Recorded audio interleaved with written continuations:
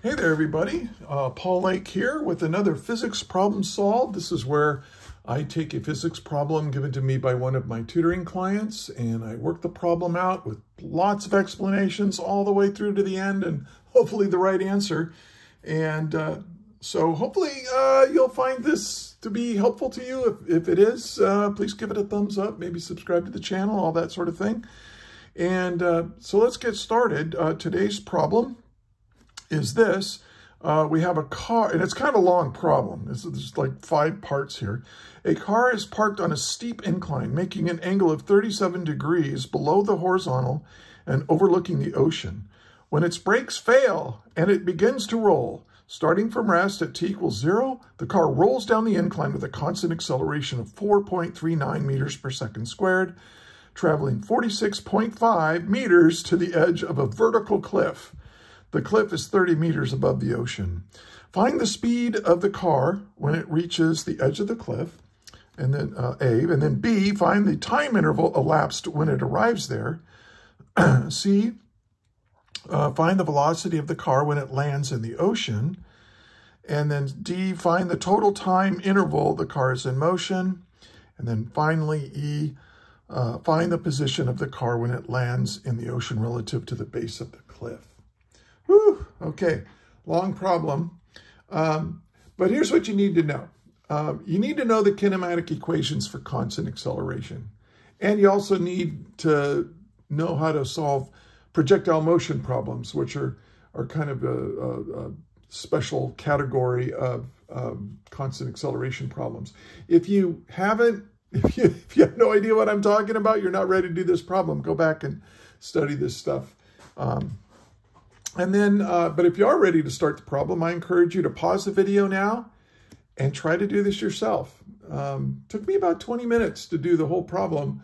So uh, uh, good luck with that. Now, uh, let's start out by drawing a nice little picture of the problem given. Um, and this is really a two-part problem. You have the part of the problem where the car is rolling down the ramp. And then once it leaves the ramp, it becomes a projectile because it's only under the, uh, uh, you know, the acceleration due to gravity, which is straight down. So we're going to, um, we're going to have to deal with this in two parts. So let me just draw a little picture here. So here's our cliff. Okay. And here's the water. Okay, so here's the, now we have a ramp here. And the, the angle of this ramp was given to be 37 degrees. Okay, let me blow this up so you can see it a little better. Now here's my car. Okay, now my car has an initial velocity of zero. Now v sub zero, that means the velocity when time was equal to zero is zero. Okay, and then the ramp, uh, I think it, they said it was 46.5. I'm going to call that delta x. down the ramp is 46.5 meters, going from here to here. Uh, we know what the acceleration of the car is down the ramp. Uh, that was it's given to be 4.39 meters per second squared. And let's see. Um, oh, and we also know that the cliff is 30 meters high from there to there. Okay. Now, uh, I think that's everything that's given. Now, what are we trying to find? Now, uh, for A, we want the speed, speed now of the car when it reaches the edge of the cliff, which is right here. So I'm going to call that V sub 1. I'm going to call this is position 1 when it reaches the end of the cliff. This is position 0. This is position 1. And then I think you can see the car is going to go splash right in here. Um, and I'm going to call this V2. Now, for A, uh, find the speed of the car. Speed is the, um, well, if we figure out the velocity, the speed is just, uh, you know, the magnitude of the velocity vector. Okay. And then for part B, what do we want? To find the time interval when it takes. So we want to know T1. Right? And then for part C, you got to be really careful here. Uh, it says, find the velocity of the car when it lands in the ocean. The velocity. Now, velocity is a vector. And uh, I believe the problem, this, is this is taken from a computer, you know, one of those computer problems where you have to enter in the answers, and they wanted a magnitude and a direction. So we're going to um, uh, figure out what V2 is, uh, magnitude and direction. And then, uh, and, and, and, and be careful with that, because sometimes they ask for speed, and sometimes they ask for velocity, and you got to really know the difference between those two. Now for part D, um, find the total time interval in the car's motion. So from here over to here, I'm going to call that T total. And then, uh, and then finally for part E, uh, we want to find the position of the car when it lands in the ocean uh, relative to the base of the cliff. I'm going to call this delta x2 right? We have a delta x, I'll call this delta x1, it's from here to here. And then, but this delta x is from here to here. So again, this is kind of two problems in one. So we want delta x2. All right. So now let's solve it. Now let's solve part A. Now, this is fairly straightforward. Ignore all this stuff. Just, just look at what's given here. You want the, um, you have the initial velocity. You want the final velocity at the bottom here. You know the acceleration and you know delta x. Now, what's missing? What are they not giving us? And we're not trying to find it, at least not yet. We will in part B. Time. So I want to use the kinematic equation that doesn't have time in it. Now, you, we have four, I like to call them four kinematic equations, right? Um, and you can apply these in the y direction or x direction or delta r, whatever you want to call them. But, and that is v equals v naught plus a times t. And then we have delta, I'll, I'll just use delta x, but you can use delta y too. Now the, the, the initial plus the final velocity divided by 2, this gives me the average velocity times time. The average velocity times time gives you your total displacement. And then you also have this one.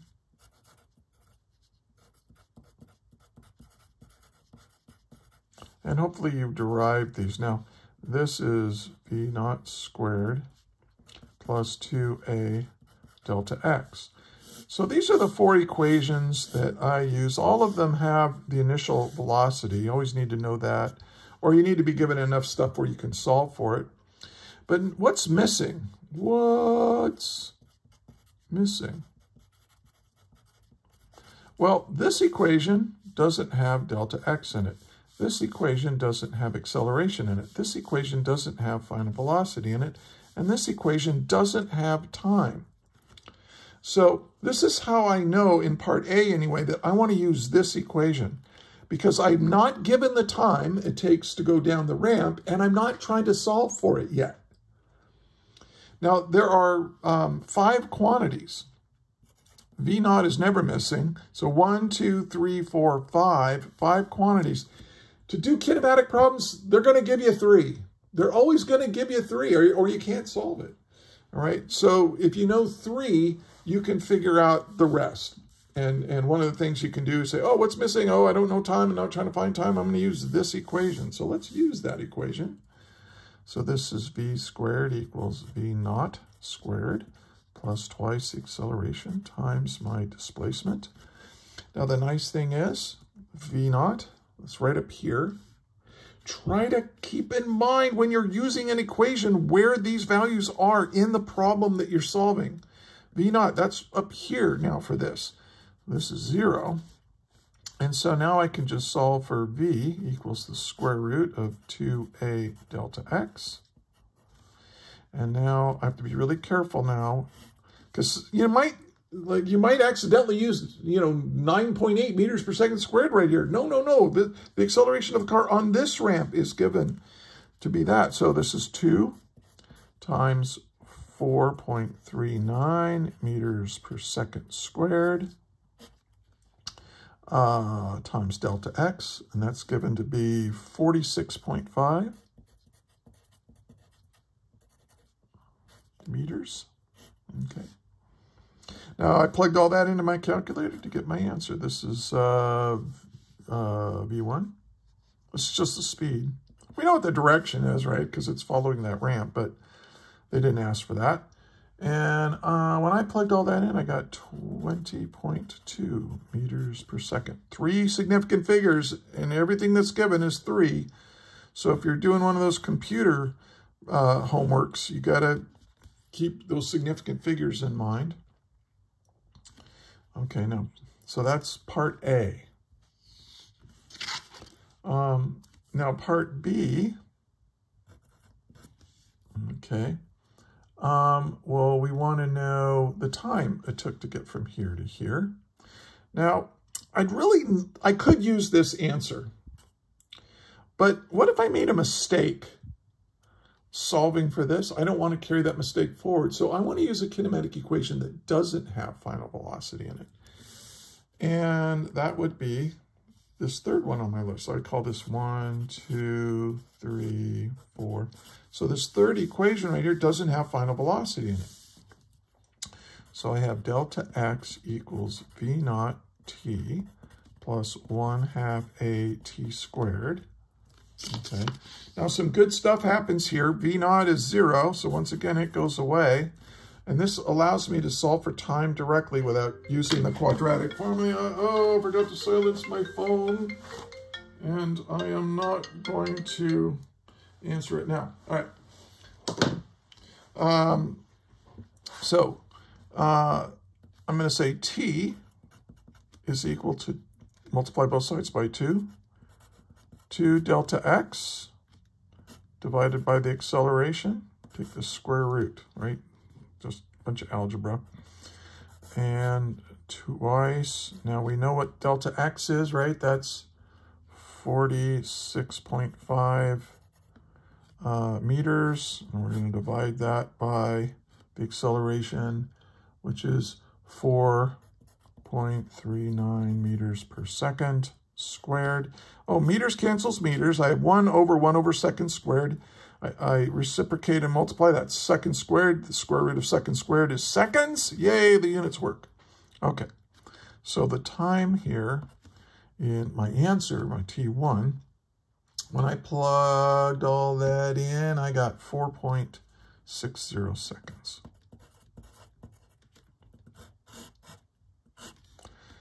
Now, we can check, we can uh, we can check to see if these are consistent with each other because let's just do that real quick. So V equals V naught plus AT.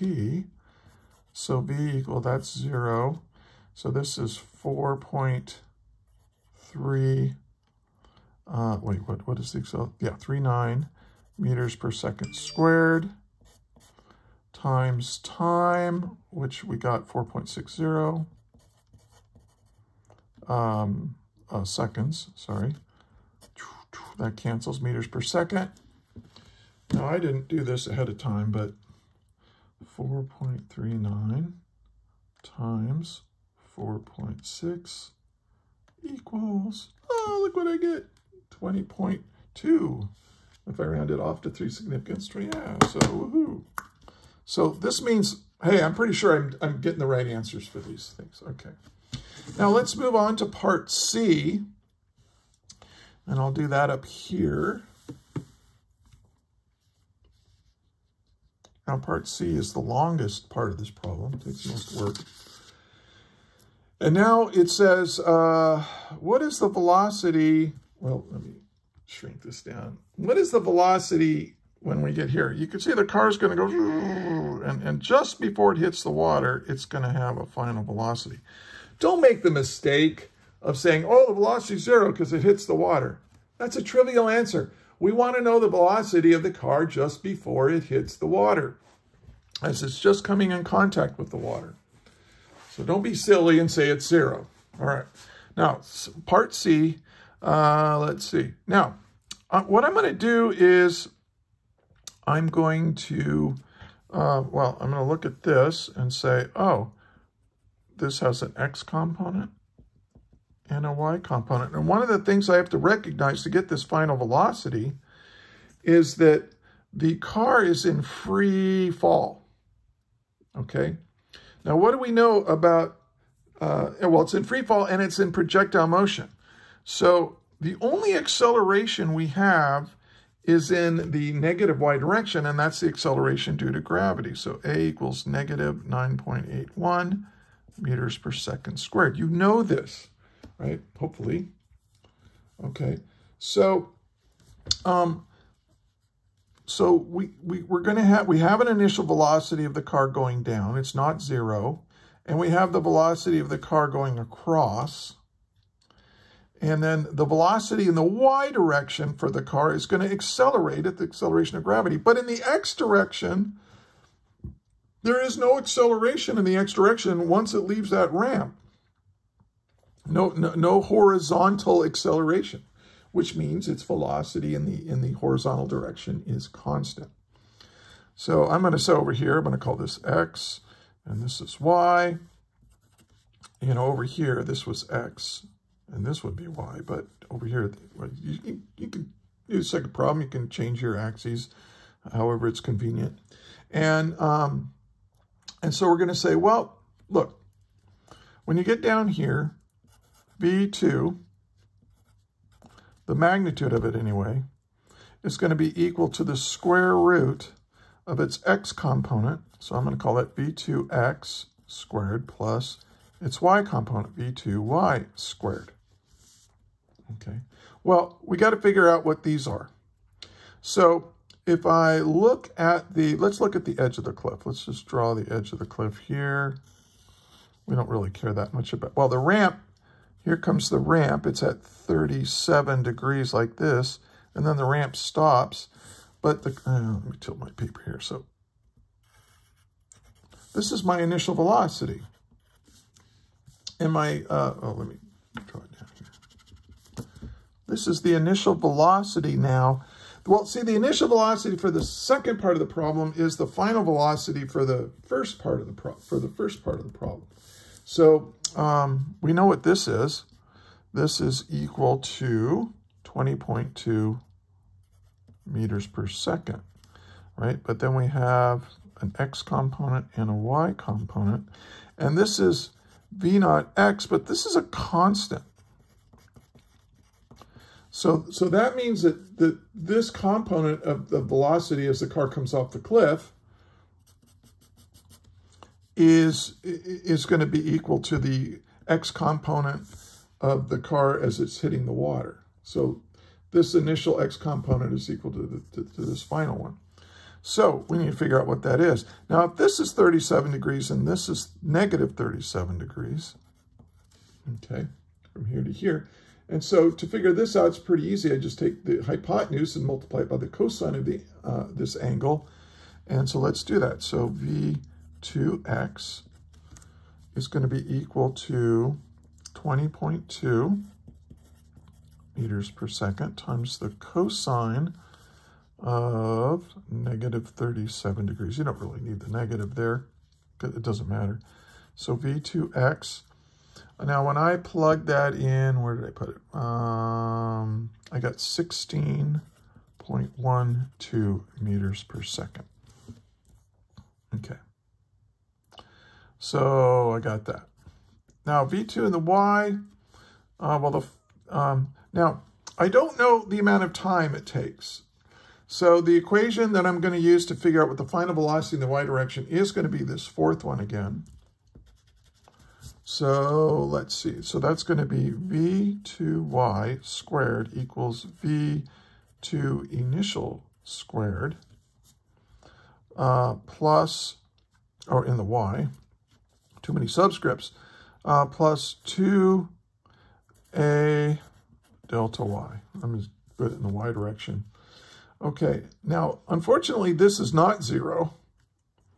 So this, uh, so uh, V2 uh, not y, or I, I, you know, the, the, the, the, initial velocity as it came off uh, the uh, cliff, um, that's going to be equal to 20.2 meters per second times the sine of negative 37 degrees. And when you plug that in, you get, um, where did I put that? Um, negative 12.16.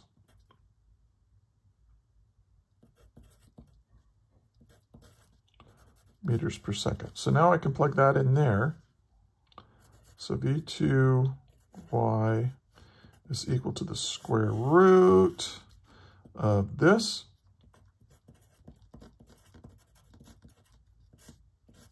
squared plus 2a. Now we have a different a now. That's the a due to the acceleration of gravity. Now here's something that's kind of tricky. What is delta y? Well, in this second part of the problem, delta y goes from here to here. So a common mistake that students make is they'll just put 30 meters right there, but that's not correct because it fell down 30 meters. So if they give you a height, but it's falling down from that height, you got to remember to make it negative. Delta y, when you go from here to here, delta y is negative because I said up is positive, so down is negative. It fell down, negative displacement. So that's going to be negative 30 meters. Okay, now let's check our units. We have meters squared per second squared. We've got meters squared per second squared, and then we're taking the square root of that, so we get meters per second. Woohoo! All right. Also, remember when you take the square root of something squared, the answer is plus or minus. And um, I'll let you think about why that's true. I, I, this video is going to be long enough. Um, V2y is equal to, well, because look, if you take the, squ the square root of negative 2 squared is 2. The square root of 2 squared is 2. So there's two answers that you can have. You can have negative 2 squared or 2 squared. It's the same thing. So uh, anyway, let's, let's, oh, I don't need a calculator. I've already done this ahead of time. So V2y is, when you plug all that in, negative, we're going to keep the negative 27.14 meters per second. Now, why negative? It's falling down. Look, look, the, the y component of this is down. It's negative. Oh, sorry. The, the y component of this final velocity is down. So make it negative even though you, you know, because this is plus or minus. All right, all right, all right, all right.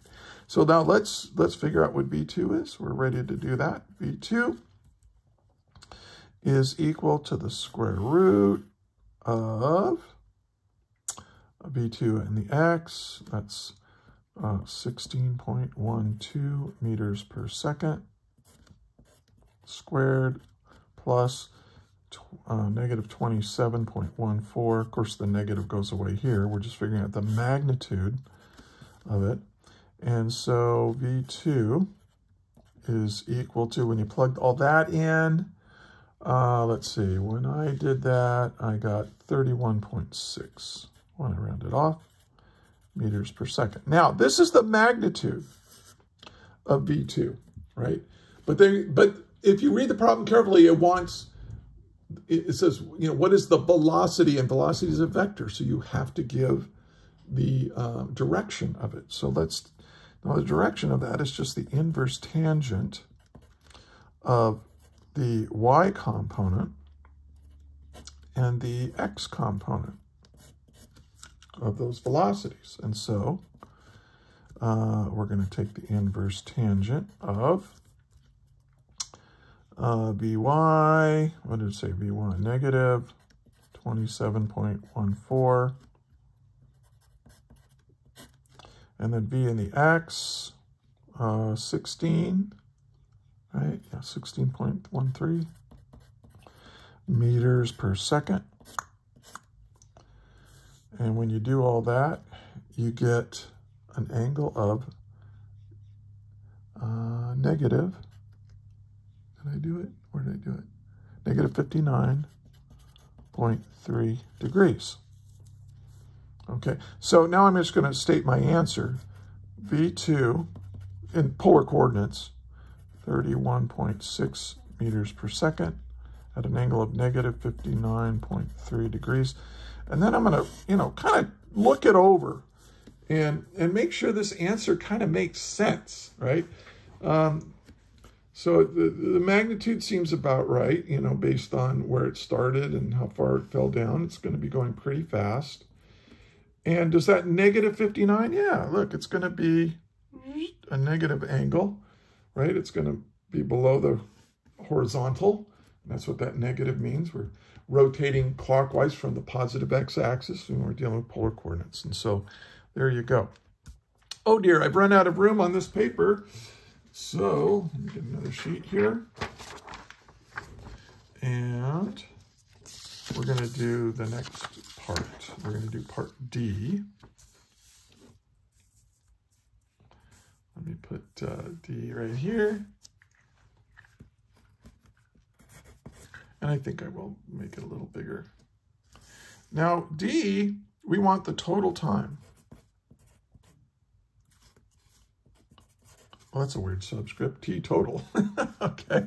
Well, that's really the time it takes to go down the ramp, which I'm calling T1, plus uh, the time it takes to go from, from, you know, from, from here to here. I'll call that T free fall while it's in free fall. Well, let's figure out what T free fall is. We already know what this is. Now, um, how much time does it take to fall from here to here? Well, we know what the initial velocity is in the y direction, and we know what the final velocity in the y direction is. So we can just use um, that first kinematic equation, um, v2, the final velocity in the y direction, plus the initial velocity in the y direction, uh, v1y or v2 not y, however you want to call that, plus uh, a times t. And this is the t while it's in free fall. Okay? So I'm just using the kinematic equation just for the projectile motion part of it. So t, oops, t free fall, I still on camera, yeah, t free fall uh, is going to be equal to the, the final velocity in the y minus its initial velocity in the y divided by the acceleration. Well, v2 in the y, the final velocity in the y, where was that? v2y, that's negative 27.14 meters per second minus, now what was the initial velocity right after it came off the ramp, the initial velocity for the free, free fall part of it, um, let's see, right here, right, at negative 12.16. So negative 12.16 meters per second. Notice you're subtracting a negative, okay, kind of makes sense. Makes the time smaller. It was already falling down. Uh, all right, so, and then this is negative 9.81 meters per second squared. And when you do all that, oops, stay on screen here. Uh, when you do all that god-awful mess, what did I get? Um, it's not very much time. It's 1.53 seconds.